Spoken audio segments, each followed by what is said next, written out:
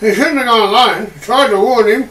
Ah, don't worry. I'll go and get him. He'll be fine. Now, uh, but how no? Ah, but he could be in trouble. That doesn't mean you need to be. you don't need to be the one to tell his Cassie that her grandson died.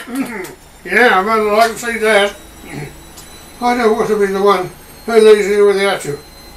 You need to listen to her. You need to listen to her. You want to let the kid die too, do you? yeah.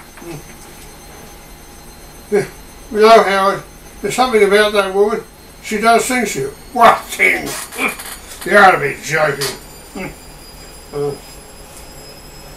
She makes you see things. You get a, get a court alone with her, and she'll get inside your head. Lawrence, I think you better stay here. no, trust me, Howard. I know it sounds strange. Please, let's all stay together. If she gets inside my head again, be the one need you to slap me out of it. What are we going to do? How are we going to do that? I don't know. Slap me on the upside of the head or something. Not now, dickhead! I said when I start acting up. You're acting strange already.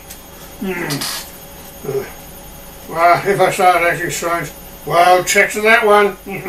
we'll see. Hmm. Okay. That's one.